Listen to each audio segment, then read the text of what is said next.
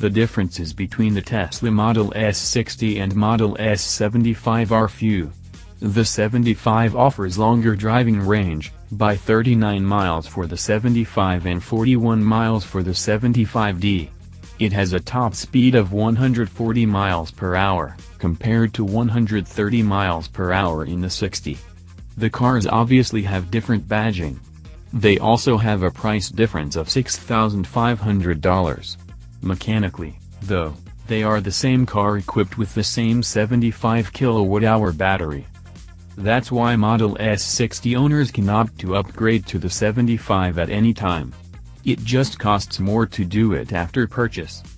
Now, though, some Model S owners are reporting that the cost to upgrade to the 75 has been reduced by $2,000.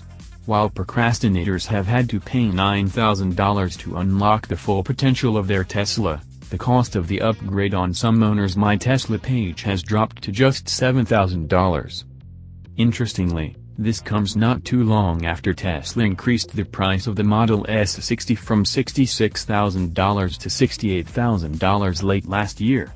It's still unclear if this discounted upgrade is available to all owners, but if it is, those who purchased their car before November 22 but haven't already upgraded would be getting quite the deal.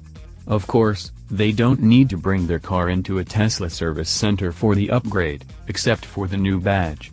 Just pay, and wait for a software update to make your car drive longer and faster.